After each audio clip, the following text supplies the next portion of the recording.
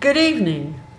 Thank you for tuning in to Let's Live with Thurman Greco, coming to you from scenic downtown Woodstock on Channel 23 Educational TV, and also coming to you from Let's Live with Thurman Greco on YouTube. And we've got us a really neat guest coming back. You've had a lot of uh, reviews. A lot of people like your show. They liked the first time you came on, and so you're you're coming back. Can you tell us your name and how they can reach you, and a little bit about the market? I think I think the flea market has some real interest. Uh, yeah, I'm Gary Beggle, and uh, thanks for having me back on Thurman. And uh, I'm out to Mowers Market every Saturday and Sunday in the summertime, and I also have an eBay store. It's uh, GB58. If you do a seller search, you can find me there. And uh, other than that, I'll also have some stuff in the Historical Society here in Woodstock. And uh, so those three venues, you can find my stuff. Gary, the, the the historical society. How does how does one find you in the historical society? You go up on, is it Kamu? I don't even know the correct pronunciation. Oh, you go up the Comeau. Comeau Drive, and that's where the Historical Society is. And I think they're open from April or May into the early fall, fall, like September. I don't know the exact days they're open. I think they're open on the weekends and walk through the door and the gift shop's right there. And I mean, my stuff's in there, mainly just the ornaments. And uh, Suzanne Nelson has some of her stuff in there. And uh, Sue Hoffman has her jelly. There's about four of us, four or five different vendors that they asked to be part of the uh, Historical Society. So, and the ornaments that I have in the Historical Society, they're exclu- I make them exclusive to the Historical Society, those particular ornaments. So you can't get them at the market. I, I don't want to compete with myself Right. because part of the money goes to the Historical Society. So those particular ornaments, which are larger glass balls with different peace signs and different images on the interiors. So if you want any of them, visit the Historical Society on the days they're open. I think the Historical Society has a Facebook page, so if you just type in Woodstock Historical Society, I'm sure you can find it Yeah. on uh, the internet. I think the historical Society is open on Saturdays. Oh, I, um, it might be open on Sundays as well, but I think it, it is open on Yeah. Saturdays because that's when the most people are wandering up Comeau. But you know, a lot of people are watching this show. They come to visit Woodstock and they don't know about the historical Yeah. society. Because it's kind of stuck off, you know, off of the one side street, but uh, I, I think they're trying to get more notoriety out there about about the historical society because they do offer a lot. If you want to learn the history of the whole Woodstock area, that's the place to go. Yeah, Well, and we have so many new people in our community, and if they want to find out about Woodstock, that's a good way to do it. Yeah. That really is. Well, so what you're saying then is these things will not be there. No, but These things are at the flea market. at the flea market and also on my eBay store site, I have some peace signs, I have some paintings, uh, some of my little nutcrackers that I do. They're more for the fall of the year, but I do keep them up on eBay all season long. But uh, the Historical Society is exclusively just the ornaments, mainly just because that's all the room that they have for them right now because of the space limitations that they have. And and the flea market opens on the 22nd of May, Uh, 20th, isn't it? 20th, Yeah. something like that. Yeah. The Right. last half of May, and it goes through uh, October. October. Yeah. And and uh, we used to. It's like we when I first started coming to the flea market, we would go into November Yeah. maybe, depending upon the weather. But Yeah. I'm getting the feeling now that we really are cutting it off at the end of October. I think John's getting tired. Well, you know he's been doing that flea market Yeah. for 50 years, I think. well, what are we in? 46th, 46th, 47th, whatever it is, yeah. I mean, that's a lot of years. Yeah. That's a long time to have a job. You know, and I and I can remember several years ago, he was trying to get uh, some relative, a son or a nephew or something, Yeah. to help him, and it didn't work out. And and I listen, I know that experience. I you know because. I, I'm always asking my daughters to help me, and they're always saying, "Oh no, mother, please, please, no, no." So you are coming back the second time, And and one of the reasons you're coming back, and I feel like there will be some future visits, is because people love to go to your to your uh, YouTube page because you have you have a wonderful show, a wonderful presence in here. So, what goodies have you brought us today? Okay, we'll talk about a few of these things real quick, and then I guess we'll get into the topic of what we were going to talk about is uh, different signs after loved ones pass, but we can kind of transition into that, I guess, after we. Okay. So the peace signs, which uh, you know everybody knows, I do the peace signs, so we'll hold those up, and they're available at the flea market. I do different size ones and variations on all the different ones. Now, is this the smallest peace sign you do? Uh, pretty much. Um, I've done other ones, maybe do like a peace sign on this type of thing. I'll stick a peace sign on. But as far as the traditional cutout, wood cutout peace signs, that's about the smallest ones. And but these are not the largest ones you do. No, I do uh, quite large, which I had a couple of them last time I was on the show. And just wherever my mind takes me as far as doing those, from chessboards to more traditional to abstract. To, you know, I, when I oh, start you've doing done them, I don't some know. really lovely ones. Yeah, I'm working on an abstract one right now, a big abstract one. It's not quite done yet, but probably by May it'll be done, so that'll be ready for the show then. So, But, uh, and of course, this is very Woodstocky, and and these look like uh, little Valentine ones. Yeah, and those you can either use in your car off your windshield, like windshield, those things they hang off the windshield, or you can use it as an ornament or just to give to somebody. And I started doing with the uh, the gears because of the steampunk thing. All the young kids are into the steampunk thing, but I didn't want to just go straight steampunk. And since I'm in Woodstock, I combine the psychedelic colors and the tie-dye colors with the steampunk gear image, so it's kind of psychedelic steampunk is the best way I could describe it, which I never seen anybody. Usually steampunk, it's more blacks and grays and those colors. Now, let me ask you something. Don't you think that you could put some essential oils on this, especially if you put it in your car? Yeah, you probably could. You know, on mm. you have this this kind of strain would do really well. Yeah. Oh, I think that would be lovely. That would really be lovely. Well, I can send them over to Sue because that's what she sells right next to me at the market. They buy Right. that and send them over to Sue. Right, they can go to Sue and get some essential oils. And mm-hmm. and now these these are just precious. Yeah, all of a sudden I was doing waterfalls, and it seems like people like waterfalls, and they like the purple colors, and the purples and blues seem to be a popular color. So I've been doing those, but I do other little mini ones, and they seem to be liking those. They buy those, they get the easel with it, so they're all set when they get home to put it on a shelf. Or, Well, and this is something that you can t- tuck in your suitcase or whatever Yeah. and take with you when you go back home. Stick it in your pocketbook or whatever. Yeah. So that's really easy to do. And then I'm doing these little mushrooms, and you know, hold a couple of those. You know. I, you know who else has picked up on the mushroom theme? I think this is something that's growing in popularity. Candlestock. Oh yeah. Candlestock has Yeah. now got mushrooms outside their door. Oh, I've seen those. Yeah, right as you go in. Yeah. Like in their little garden areas, they have to do. I Yeah. actually was in there, uh, I don't know, a couple months ago, because I, I don't get to walk around town sitting at the flea market. So I came up one day, I was just walking around, and I noticed those as you go into Candlestock.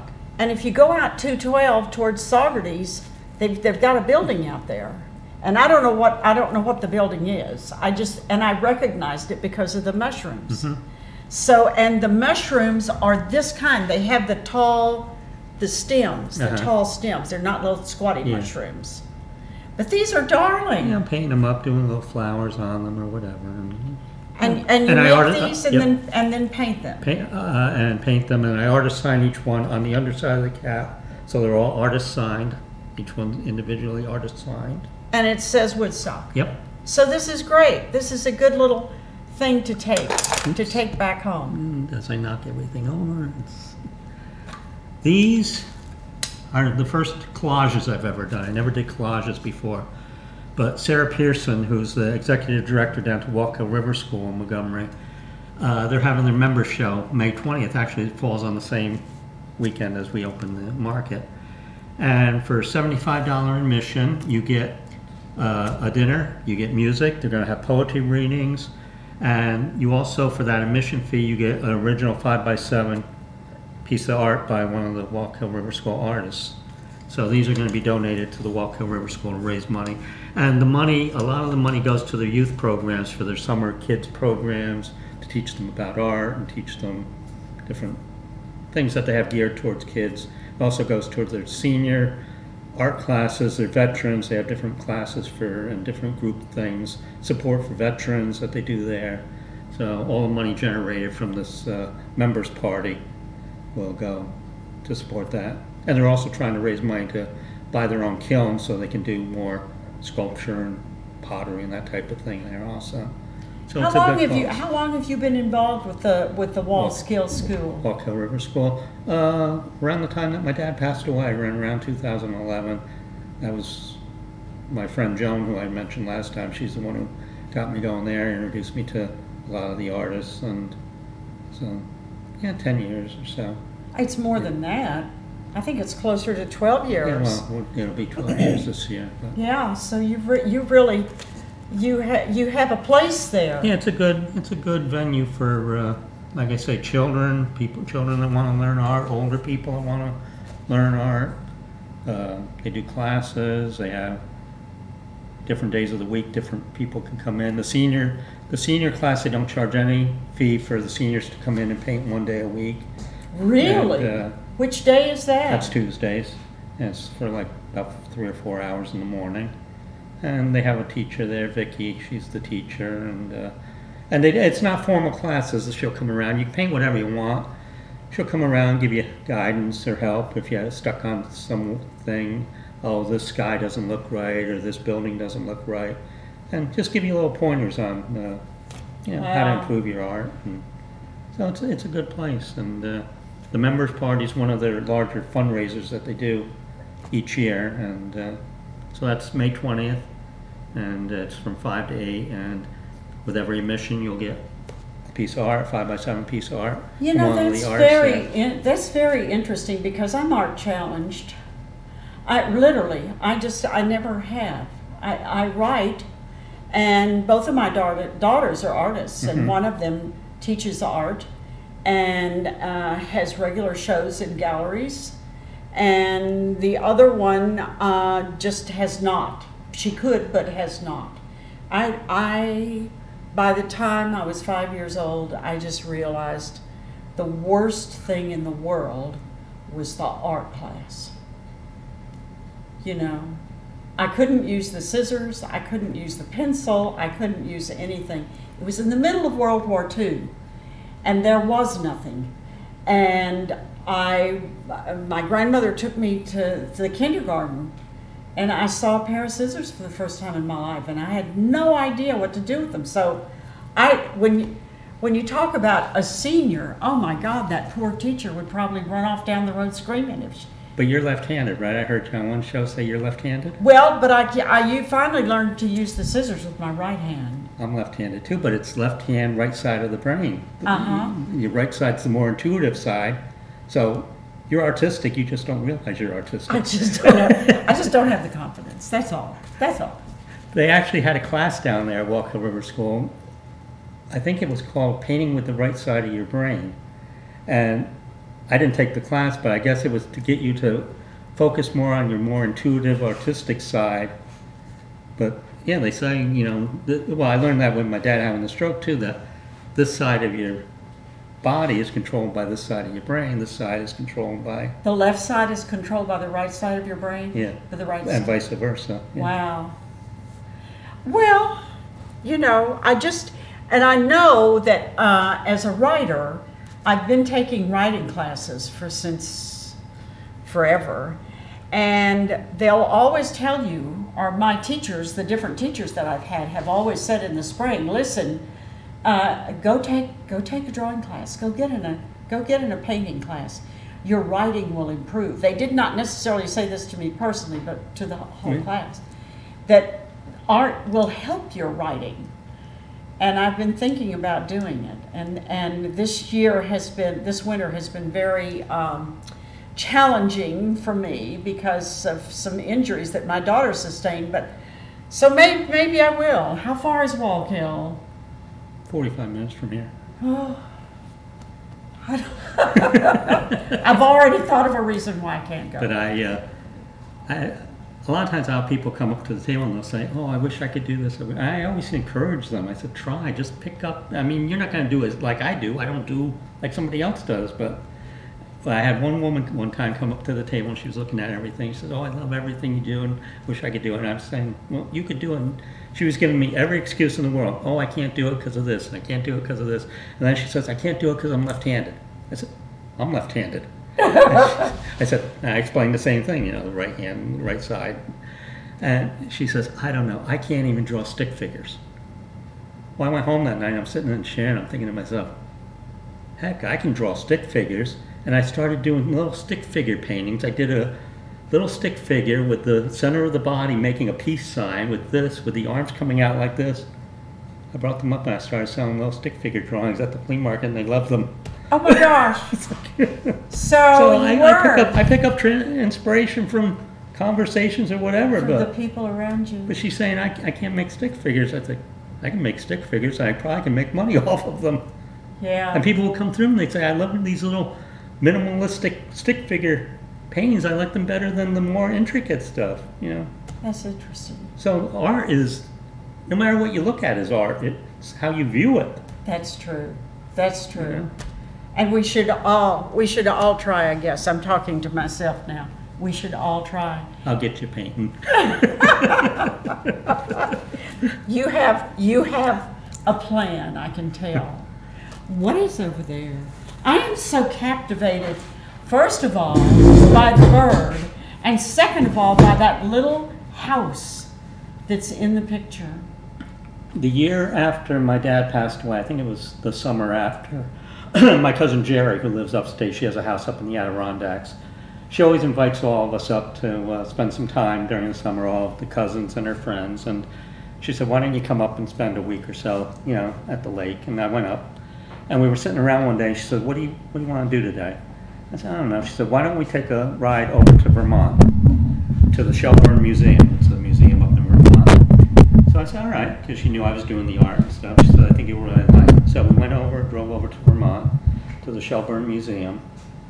And in the museum, um, some of you viewers may have heard of the artist. He's a pretty famous artist, uh, Andrew Wyeth. Yes. In the Shelburne Museum is a painting called Soaring that he did. It took him eight years. He used tempera egg paints. I think it was on masonite. You go in and the painting is huge. It's four feet by seven feet Oh my long. gosh. It takes up one whole, it has it all, its own room. And they have church pews where you can sit and just look at this painting. I want to call it a rip-off, I want, I like to more of a tribute to Andrew Wyeth. Because his painting is almost like this, except he has another bird. And I just wanted to do my own version of the painting because I was so captivated seeing this massive painting in the Shelburne Museum. So I just call that tribute to Wyeth. And uh, that was like the summer after my dad passed. I did that. I came home, that painting just stuck in my mind, and I looked up some of his other artwork. I said, it's amazing the way he would do his art, and you know, just looking at trying to figure out how he did it. So, I mean, this doesn't compare to his painting in any way, but it's. I just like it. I think it came out well for. You know, that's very interesting because writers get inspiration from reading other writers. And so artists get inspiration uh, from seeing, from going to museums and seeing things that other artists have done. Yeah. One million years ago, I was in Mexico City and I, I uh, was dating an artist who was preparing for a show. And his thing, his canvases were huge.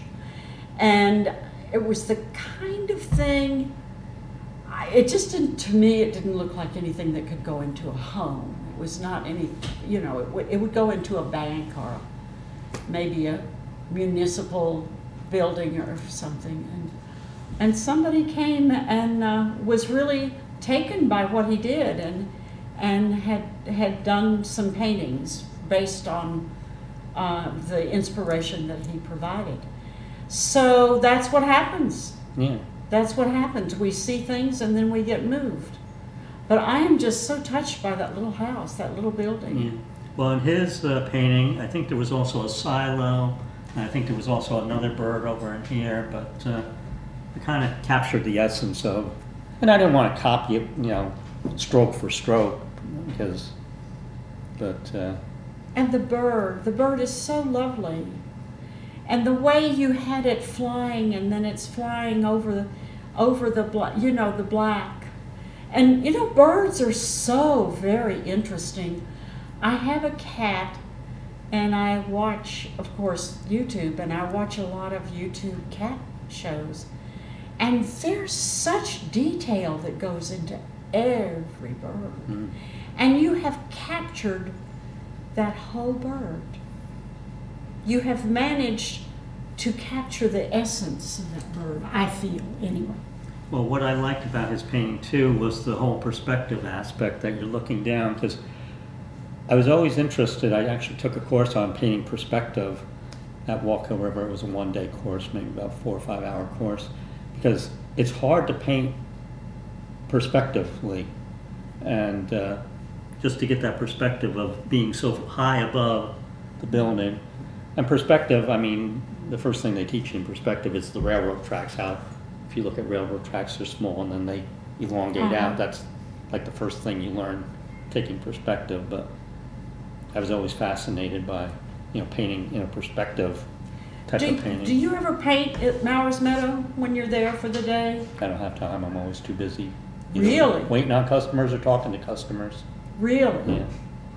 Wow. That's what my friend Louise, who passed away last year, she was 90 years old, over 90, and she was one of the first teachers I met at Wallkill River School.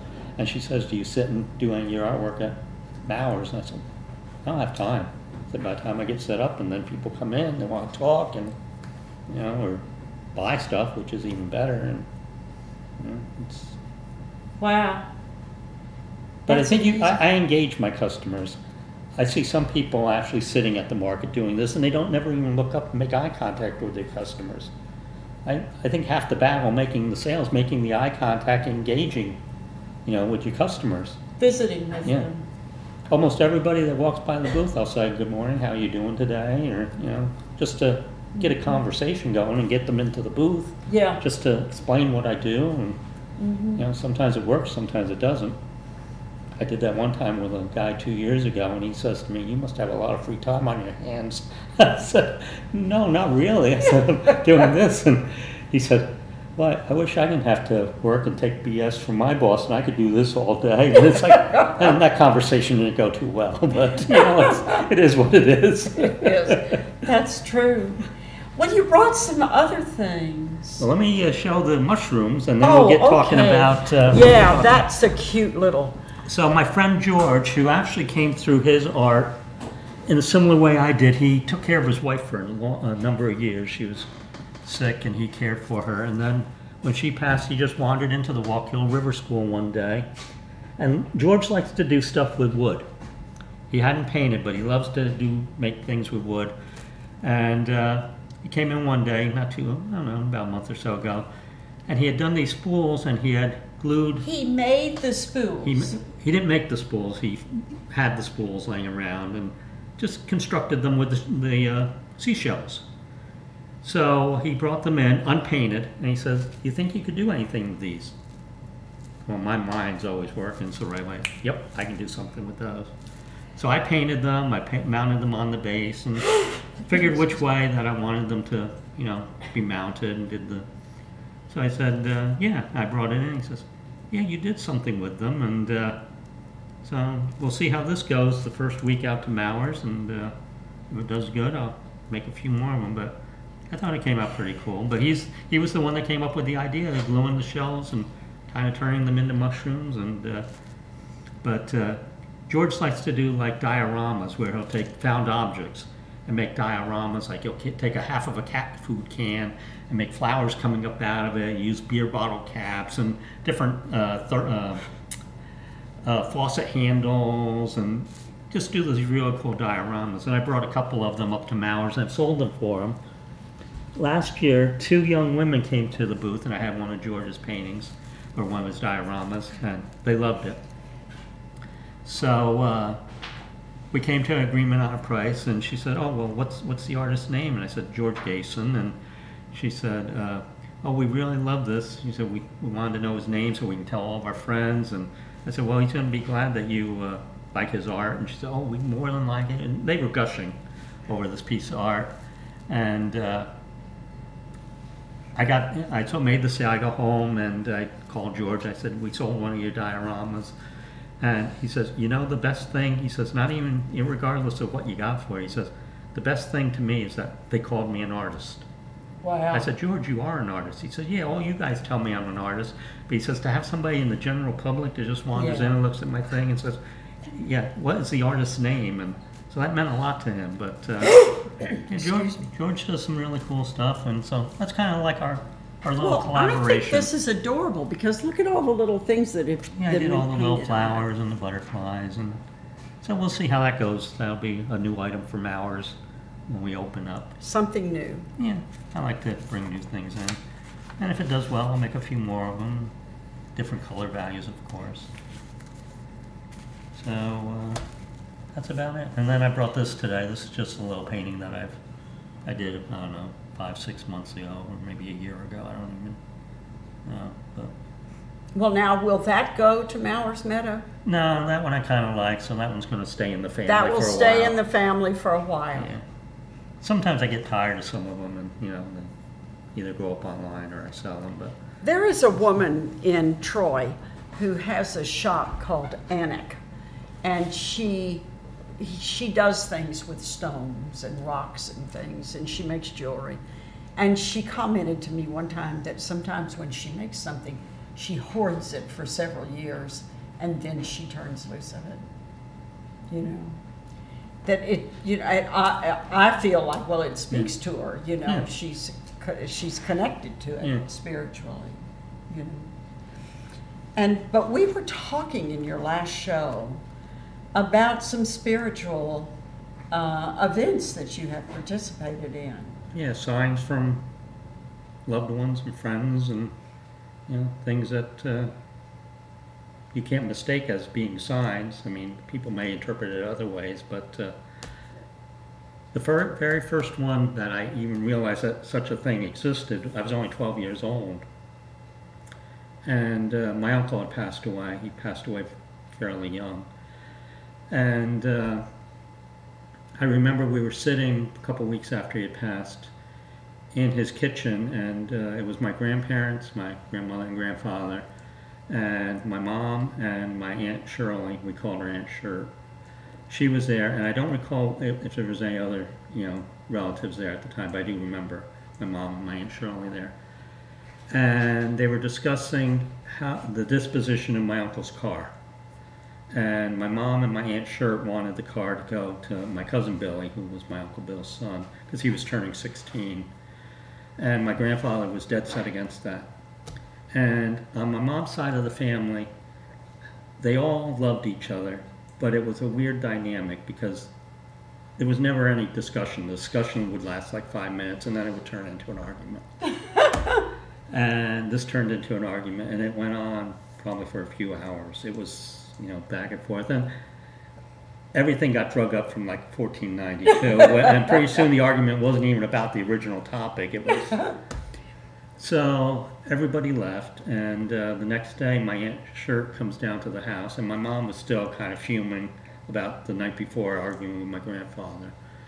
And my uh, aunt says to my mom, she says, uh, Mary, you need to stop this. She said, I was driving home last night after leaving, and she said, I was so upset. I went past the Orange County Airport, and she said, I thought I saw Billy walk from the airport across the road. And she said, he stopped right in front of the car. She said, I thought I was going to hit him. She said, and then he went across the rest of the road and kind of just vaporized. And, you know, it's kind of weird because, uh, in my mind, thinking about it years later, I think he was so upset that they were sitting there arguing about something so really superficial as a car. Right. And it just upset him so that he had to Yeah. you know, make that feeling known. But my aunt swore she seen him. She probably did.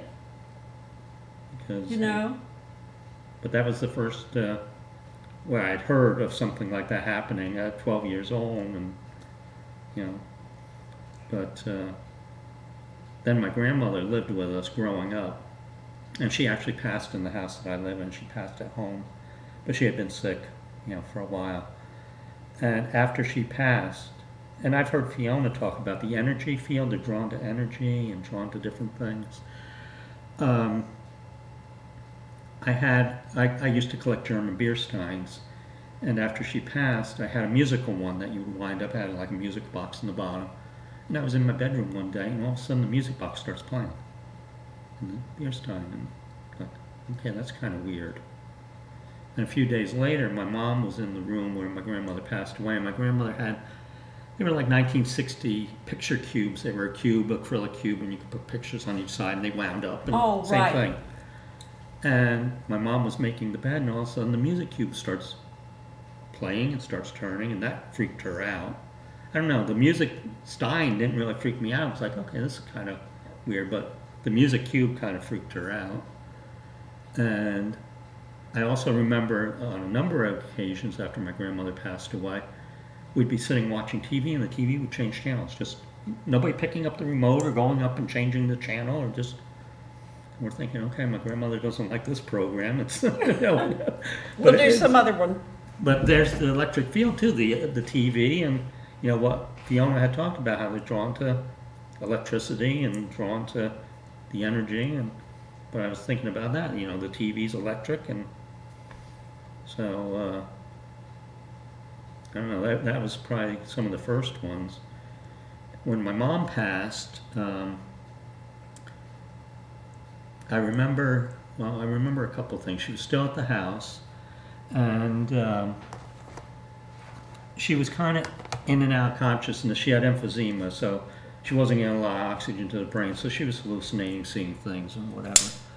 But um, we were in her room, and she looks up to the ceiling and she says, "Oh, "Look at that cross up there." And we thought, you know, she's hallucinating, and uh, we looked, and. Uh,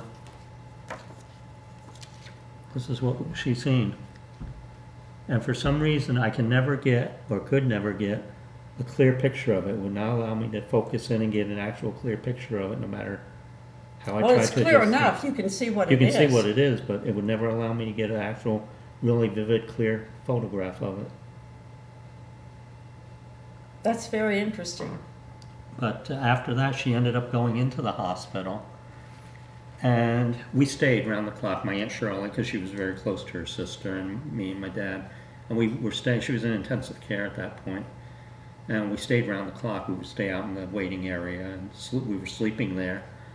And I remember a couple days before she passed, it was early in the morning, there was nobody walking the halls or anything in the hospital. And people tell me I was dreaming it or whatever. Eh, I might have been. I don't know. I don't know how to explain these things. Or I heard the elevator door open, and I heard two sets of footprints, uh, footsteps come off of the elevator. And um, I heard one voice say to the other voice, "That's the intensive care. Last stop before heaven." And I looked up from the sofa that I was laying on. There was nobody there. Now, people have said, oh, you were dreaming it, you were under a lot of stress. And it's possible. I don't know. I'm not trying to, you know, rationalize or give explanations, but, you know, that's what happened. Two days later, she kept wanting to know what day. She would write down on a piece of paper, what day, what day, what day, is it, what day? And my aunt told me, she says, Gary, she's waiting for your birthday, because my birthday was coming up a few days after the whole elevator thing, I went, she says, my aunt said, go in and tell her it's your birthday. So I did. And she had been comatose at that point. She had her arms up on the railing, had not moved in probably a few days. And I told her, I said, Ma, today's my birthday. And her hand came up on the railing and went like this. That afternoon, she passed away on my birthday. So, she was. She was waiting for that day for whatever reason. And I thought that was a unique thing, and it bothered me for years, you know, that she passed away. But I found out later that my, uh, my friend Brian in Montgomery, that his mom also passed away on his birthday. And my friend Linda, who I talked about in the last show that had the antique shop, her mom passed away on her birthday. So I guess it's really not that unique of a experience, you know. But, uh, so, but, uh, with my dad, there was a lot of them. There was a, a lot that uh, I think po- probably because I had uh, taken care of him so long that there was that, you know, very close connection with him. But I remember he was uh, in hospice at that time, and we were at the facility, which I talked about last time. And I had mentioned how my cousin Nancy had come back to stay with me. And I've never heard of anybody um, experiencing this before, but actually, when we first, I uh, first went to hospice, and the main counselor there, said to me, and it was an odd question, but you know, you think of these things after. She said to me, "Do you think he's passing over already?"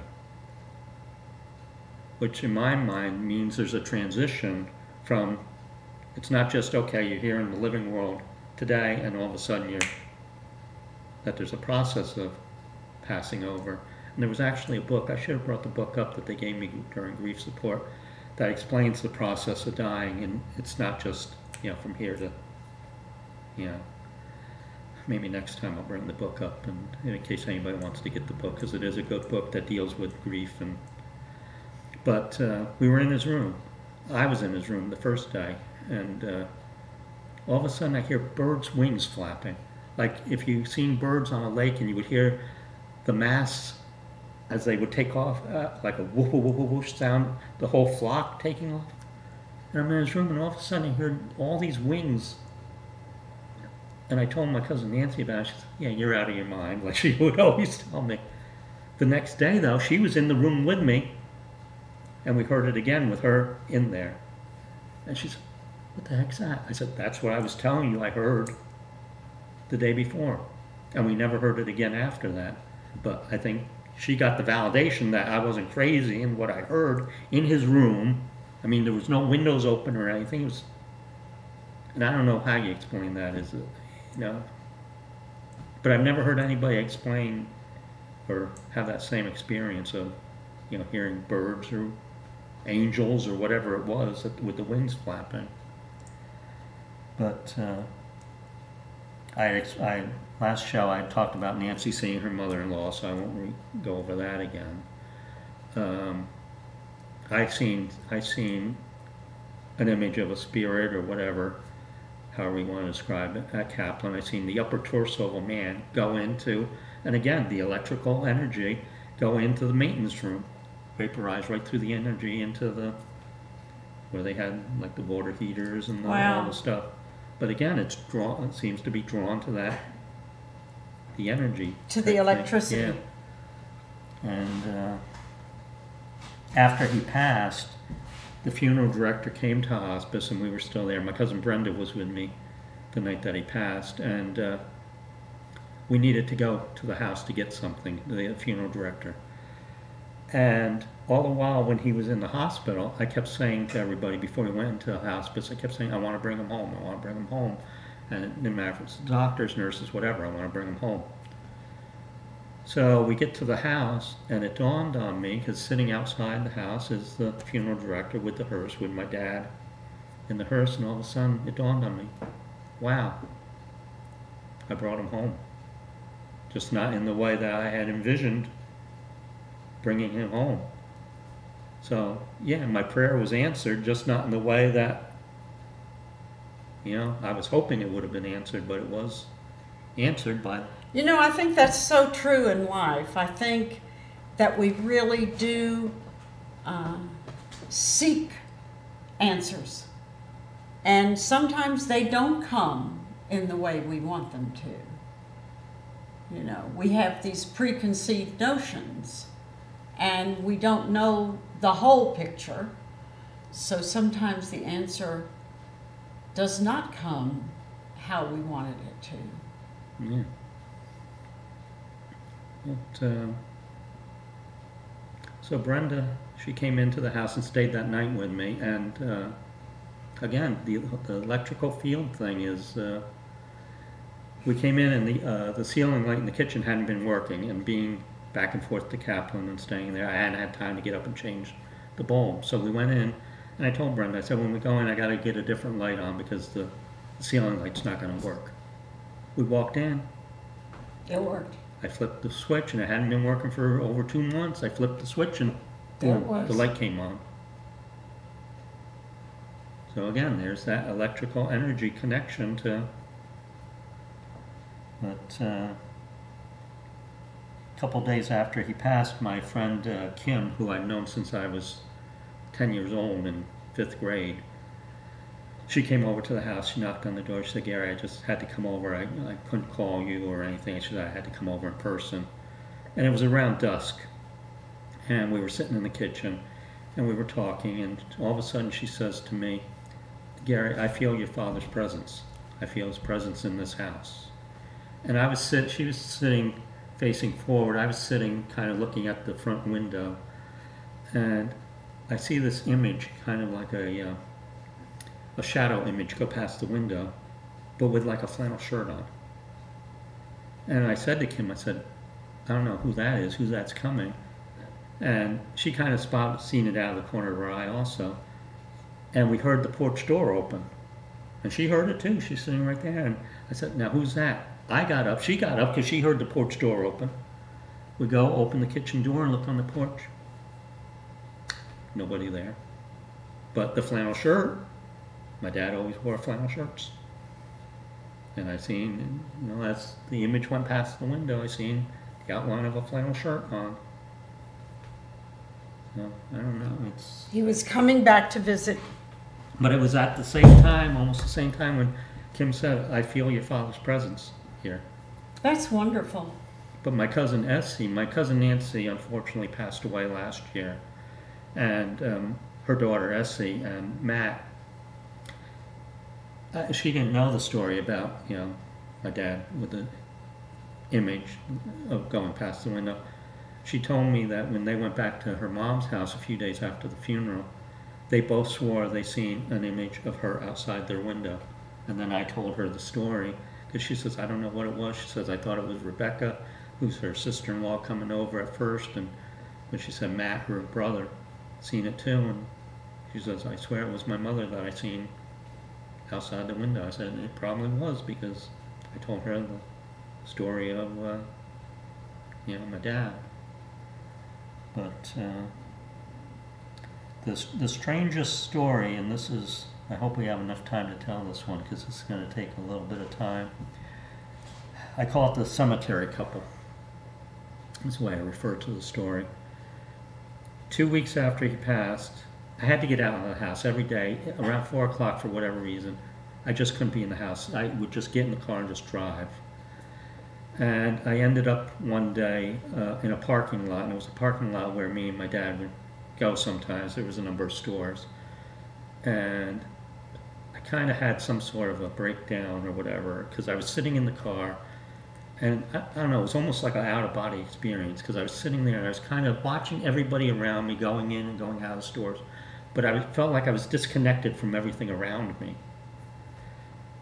So that went on for maybe 10 minutes. I sat there just kind of getting my thoughts and my bearings. And driving home, I was mad. I was angry. And I talked about grief support. And I was mad as hell at God. And I was screaming at God, you know, why did you do this as I'm driving home? And I got home, and uh, the next day I said to myself, that was a Saturday. The next day was a Sunday. And I said, I got to get out of the house and I got to do something. So I'm, I was going to go to the flea market just to walk around and just get out around people because of you know just you have to at some point you have to do this so i went up to the cemetery that sunday morning just before i was going to go to the flea market and where my mom and dad are you can go in this little side road and you're at the top of the hill and you can see everything down below the hill and there was nobody in the cemetery because you can see the whole lower part of the cemetery so I got out and I'm standing by my dad's grave and, you know, still grieving two weeks after, and I'm standing there looking. And I look to my left, and As close as we're sitting here together, I look and there's a young girl standing next to me with her hand out like this. Didn't say a word, just stood there like this. She had that bouquet of flowers, wild flowers in her hand, Oh my goodness. just standing there with the, with the flowers like this. Didn't say a word. Oh my goodness. She gave them to you. So I took the flowers from her, and she was she looked young, maybe about maybe between 17 and 20. She looked like a young hippie girl from the 60s, long pigtails, a peasant dress on. And uh, I took the flowers and I looked at her and I looked at the grave and uh, she looked at the grave and I said to her, I said, "That's my dad. Uh, he passed away two weeks ago." Now she spoke not like a 17 or 20 year old kid would talk. She talked more like almost like in Victorian speech. Because her reply to me was, Has it been two weeks already? Wow. Like she kind of knew. It's like, now what 17 year old girl would reply, Has it been two weeks already? So I said yes. And now I look up behind my car, and standing there is a young guy long black hair, shoulder length, parted in the middle, black beard, bib overalls on. Again, like a 1960s young hippie kid. He comes down the bank. He looked almost like Jesus to me, This is the only way I tell everybody the story. He comes down the little bank where my car was that leads to the grave. And he comes over to me, and he comes over and gives me a hug. And she comes over and embraces me. And now, normally, if you're in a cemetery by yourself and two strangers are coming up to you, you're gonna be like, "Oh, wait a minute, what what the heck's going on here?" And you know, but I didn't feel that at all. So they hug me and they stand there and uh, they said, um, "We'll be thinking of you." And I said, "Thank you." And they walked up the bank, and I walked up the bank and got in the car. And as they're walking away, they're walking away hand in hand. They're both holding hands. They're walking down the little path to the exit, and he puts he doesn't turn around. He doesn't turn around and make eye contact with me again, but he puts his hand up like this and just waves to me like this as they're walking out. I sit there for a while, and uh, the two weeks prior, I had been there's a little path behind my house that goes down into the village park, and if you go down, you end up by the Wallkill River. And every day I would walk down there and just sit by the river and just think. And I've been doing that for the two weeks since my dad passed. I would try to do it every day just to get out, get some exercise, and you know, try to work through my thoughts. So when I leave the cemetery, I pull out, get onto the main road, and as I'm driving, I look to the right, where the path is that I'd been walking for two weeks. There's the two of them walking down the path that I had walked for two weeks. I went home and I called, picked up when I walked in the house. Now I'm kind of shaking, trying to, you know, understand what just transpired. And I pick up the phone, call my cousin Nancy, who I told you was, she didn't believe in anything. I, Right, I described that whole thing. I pick up the phone and I call her up, and the first thing, first thing she says to me is, Gary, do you have your wallet? She thought they pickpocketed me. I said, Yes, I have my wallet. And then she says, Did you take acid? I said, No, I didn't take anything. I said, This happened. But she didn't believe, you know, anything. And I'd asked different people afterwards. I said, Have you seen this young couple? And I described them to different people I knew around town. Have you seen them around town? Nobody had seen them. So a week after this all happened, I come home one day and take notice of the positioning of these two little white flowers Yes. in the photo. I hope you can get this, Ellen. The two, Oh, the two li- right. those two little white flowers, if you can Yes. zoom in on them. Yes.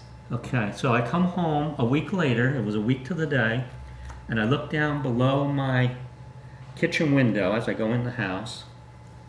This is growing underneath my kitchen window. And look at the placement of how they were growing in comparison There they are.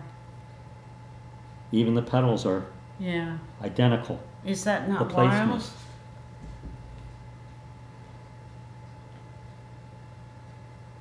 And I tell people, I I was telling people back then, these flowers don't grow that time of year. So uh, I, I kept a journal. That was one of the grief things. Keep a journal, you know, and write down your thoughts and whatever. So I had an aunt in Jersey. She passed away a number of years ago, but I helped take care of her also. I was her healthcare proxy or power of attorney, co-power of attorney. And I wrote in the journal, and uh, is it okay if I read the passage Yes. from the?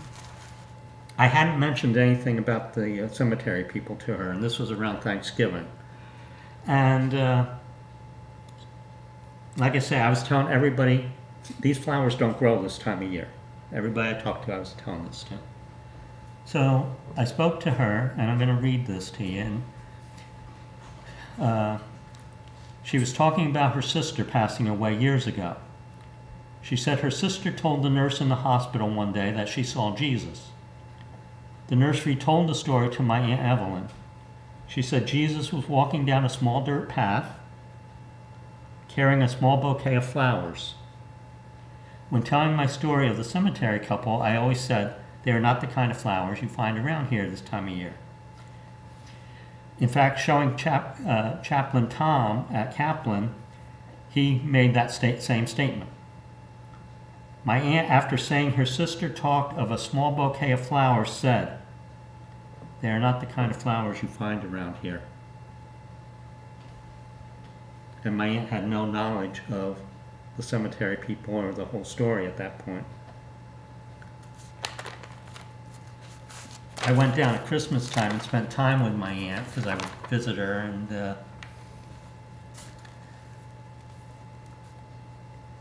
at that time I finally told her about the cemetery people and uh, she listened and said, you had an other, otherworldly experience, my aunt said to me. I told her how a few weeks ago her story of her sister seeing Jesus shocked me as it was as if I was telling her my own entire story from at least 15 years ago. Aunt Evelyn just replied, Yes. She said to me that older people are many times more in tune with the other side because they are getting closer to it. Aunt Evelyn also said that she feels that our loved ones are just in another dimension. That was how my aunt reacted to the story. Not that I was crazy or out of my mind, but she understood it and How Big. old was she? she was in her 90s at that point. She passed at 98 about eight years after my dad did, actually. You know, I have this theory that once I don't have that much experience with men, but with women, once they get beyond 80, it's really hard to upset them or frighten them or surprise them or whatever, you know, it's like, yeah, you know. Mm-hmm. But uh, But now, these flowers were given to you. by that young girl, She handed them to you. standing there just like this, with Right. not saying a word. Wow. And a week later, these appeared. You know, And these to appear in this part of the country in November. but the the most unique thing was that they are identically placed Yes, as these two flowers. and they are the kinds. and And they are the only white ones that were in that collection. Even the arc of the stem coming Yeah. down is the same. Yeah. Is that not interesting? But uh, when my aunt did pass, mean, I would go down and see her. She always was a giving person. She always wanted to give you something. And being in a nursing home, you know, what do you have to give when you're in a nursing home? So she would go to lunch and save her little bags of potato chips or whatever, sneak them back to her room and keep them in her closet. And you'd come down, she said, Oh, I want to give you something. And she would always give me her little bag of potato chips, you know, and thank you. And, you know, whether it was Easter time, Christmas time, she just felt she wanted to give and share. So she ended up on hospice too, but she only lasted a few days on hospice, and we knew that her time was coming. And uh, there's this hot dog stand by me. Not that I eat a lot of hot dogs, but every so often I want that childhood memory of getting the hot dogs. And I stopped at this hot dog stand, and I was going over to visit my friend.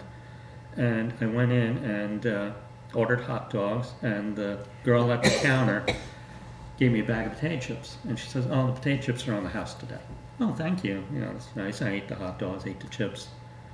And I go over to my friend Margie's house that afternoon, and uh, right after leaving the hot dog stand, and we're talking, and my phone rings, and it was my aunt's friend Kathy down in Jersey, and she told me that my aunt had passed away. I uh, asked her what time, and she had passed away a half hour prior to uh, the phone call. At the time, I was at the hot dog stand being given a bag of potato chips. Wow. And I told Kathy that. She said, yep, she wanted to give you one last before she That's went off into very interesting. So I figured that was my sign from my Aunt Evelyn, you know, one last gift from her. But I always remember her going down. She worked for the M&M company, even as a kid. You know, she'd always have M&Ms and all the candies and stuff. And it was, Well- it was a great place to go visit growing up. And I have heard and read, now this was at the time that she died. This was close to the time that she died. Did that happen?